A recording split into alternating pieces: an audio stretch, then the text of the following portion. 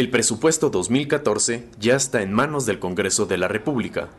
A partir de este momento se inician los cabildeos para lograr el apoyo necesario y que los diputados de las distintas bancadas conviertan la iniciativa en ley.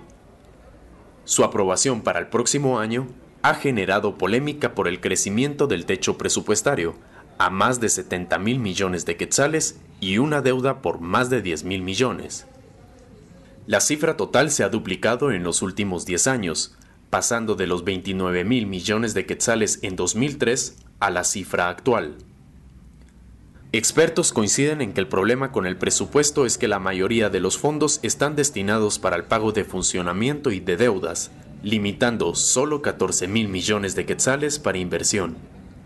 El investigador del Centro de Investigaciones Económicas y Nacionales, David Casasola, dijo que debido a que más del 65% del presupuesto está destinado para el pago de funcionamiento y deudas, deja un corto porcentaje para el desarrollo nacional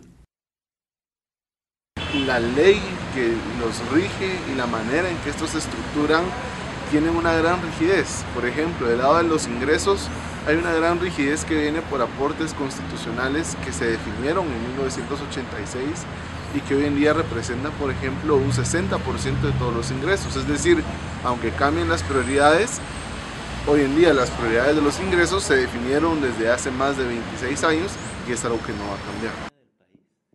El director del Instituto Centroamericano de Estudios Fiscales, Jonathan Mencos, explicó que se debe contar con una política fiscal distinta para que los presupuestos respondan a las necesidades.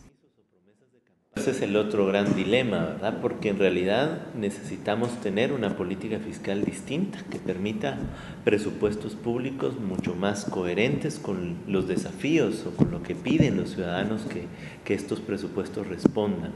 Y sí que se requieren más recursos, pero no deben caer en un saco roto.